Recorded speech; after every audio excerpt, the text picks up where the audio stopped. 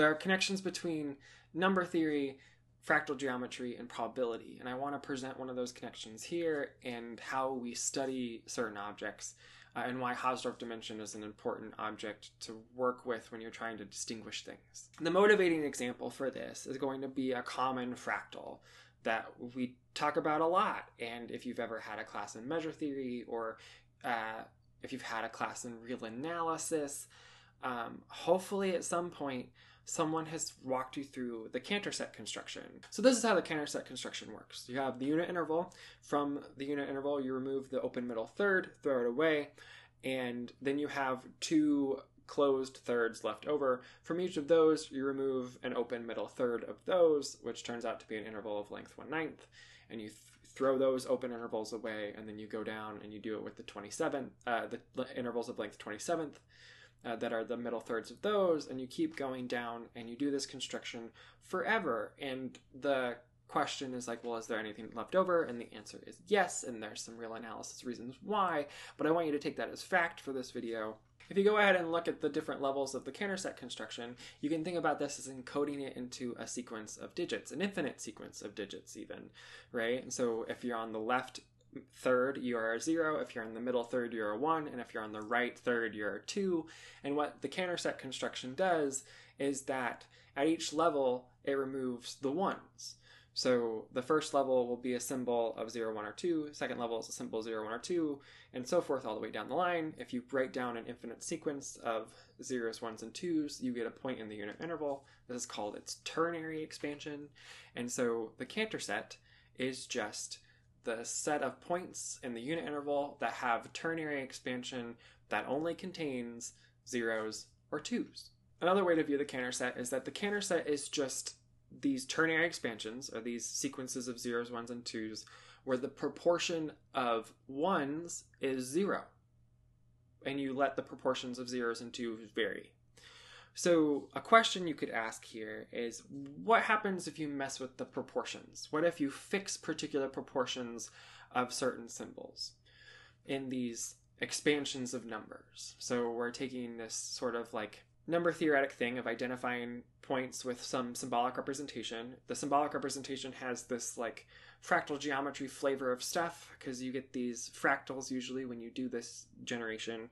And then the probability theory is going to come up here in a second and that's with the proportion and then also with some probability measure things. So the setting that we're going to work in for the context of this video is as follows. Let p sub 0, p sub 1, all the way up to p sub quantity m minus 1 be an m dimensional probability vector with entries in the open unit interval. And we're going to say that that probability vector will determine a set of m expansions on the closed interval from 0 to 1 in the following way. We go ahead and let f of the probability vector be equal to the set of x's within closed 0, 1 such that x has a symbolic representation of infinite sequences of zeros, ones, twos, all the way up to m minus ones, where the limit as k goes to infinity of the number of j's in the first k places of that symbolic representation divided by k is equal to the jth entry of the probability vector. And that works for all j from 0 to m minus 1. That is, x is within this set of points of the unit interval if each symbol occurs in the symbolic representation of x with probability p sub j and I'm going to often interchange the symbolic space of sequences with the unit interval in this video, uh, which we can do here. It, there's some reasons why that I'm not going to get into uh, in this video, but for the purposes of this video, they're interchangeable. So the first thing that I want to talk about here in terms of the setting is what is well known.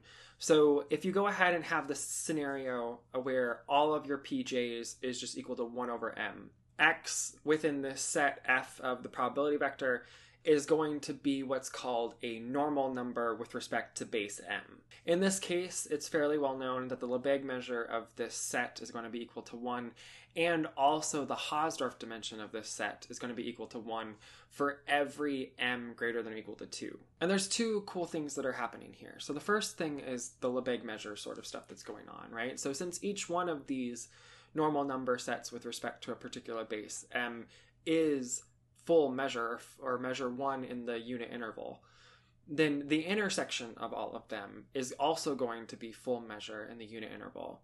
So, in particular, there has to be an x in the unit interval that is normal with respect to all bases. And that's a thing that should feel false in your brain, but it's true. Uh, the reason it should feel false is because we don't have an example of one. Um, that's current. I think that's still an open question. Um, is to derive a um, or to find an x within the unit interval that is normal with respect to all bases and prove it. The next interesting thing is more a comment on size is weird. So, in particular, we know that the normal numbers take up all of the Lebesgue measure on the unit interval. And they're Hausdorff dimension 1. So they quote unquote scale like the unit interval does. Uh, if you doubled the unit interval, you would get two copies of this thing. That's very not formal, but it, that's the intuition you should have, sort of, for this thing, is that um, it's it's stretching like the unit interval, and it measures the same way as the unit interval. But what about everything else?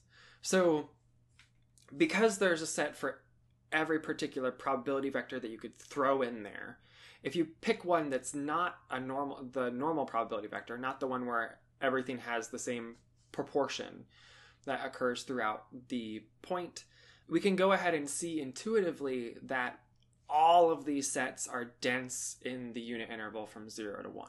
And the way that you see that is you have to note that that limit, or this limit from before, doesn't depend on a finite number of first steps, which means that you can descend through the digital expansion of uh, or the m digital expansion of the unit interval by breaking it up into m pieces and then breaking it up into m more pieces at each piece and keep doing that forever and if you end at a finite step you can always find a point in one of those pieces that is of size 1 over m to the k for however many k steps that you did you can always find a point in one of those really tiny intervals that is in your set because that's only a finite number of steps. It's not going to affect the overall proportion of symbols within your point. The other thing to note is that all of these sets are different. So if you change the probability vector, then you're going to change the proportion that a certain symbol has to achieve in order to be in a set.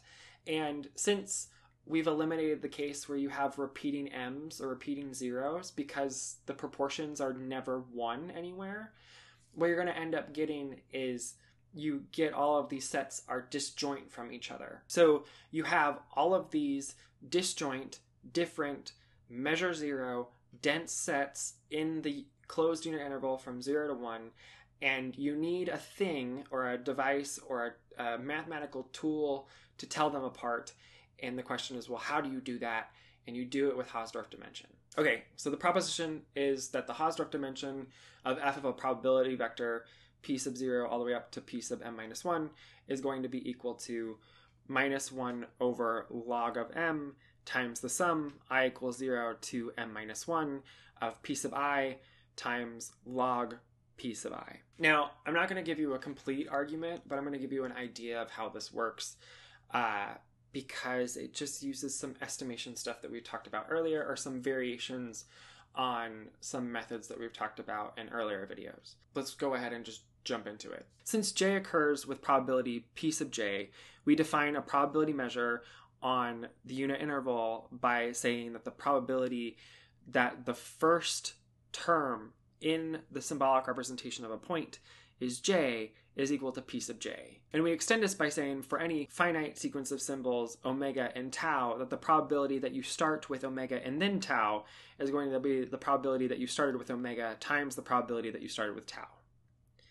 Then, by definition of your probability p, p of the set of x's within 0, 1 that start in the expansion with a1, a2, a3, a4 up to an is going to be the product from i equals 1 to n of p sub a sub i, which is equal to p sub a sub 1 times p sub a sub 2 times p sub a sub 3 all the way up to times p sub a sub n. Now, from probability theory, there's this thing called the strong law of large numbers, which applies here.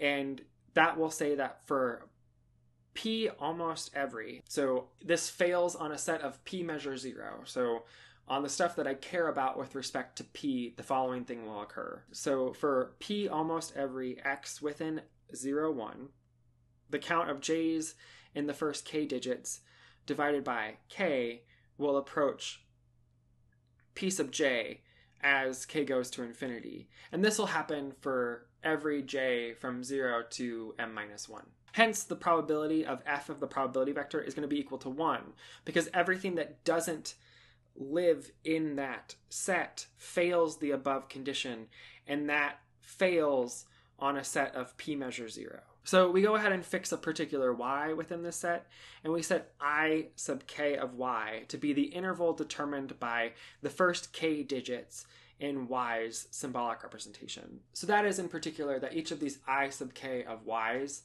has length or Lebesgue measure 1 over m to the kth power. Now, since y is within f of the probability vector, we have the convergence thing that we had from the strong law of large numbers happens for y, so we can go ahead and look at the quantity 1 over n log of the probability measure of that interval divided by the diameter of that interval to the s power. Doing a little bit of algebra and evaluating as k goes to infinity, we see that this quantity approaches the sum j equals 0 to m minus 1 of p sub j log p sub j plus s log of m. This limit will be 0 if s is less than t, and it will be infinite if s is greater than t, where t is the proposed value of the Hausdorff dimension.